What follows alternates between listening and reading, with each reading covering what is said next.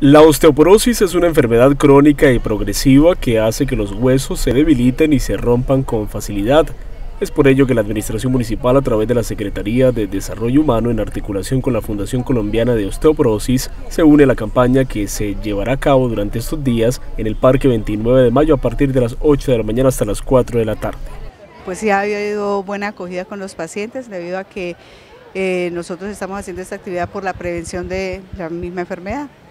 Se explicó que esta enfermedad se caracteriza por la disminución de la masa ósea y el riesgo de sufrir fracturas. En Ocaña se ha determinado un diagnóstico normal.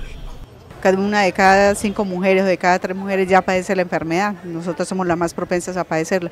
Pero en realidad ha habido un buen diagnóstico. Igual nosotros venimos cada tres meses a hacer los controles precisamente para prevenir la enfermedad. Lo ideal es empezarse a cuidar con la alimentación, ¿no? porque la enfermedad, a pesar de que es hereditaria, también es muy bueno cuidarse en la alimentación, sobre todo lo que son bebidas negras, que es lo que más nos afecta en el estado de nuestro hueso.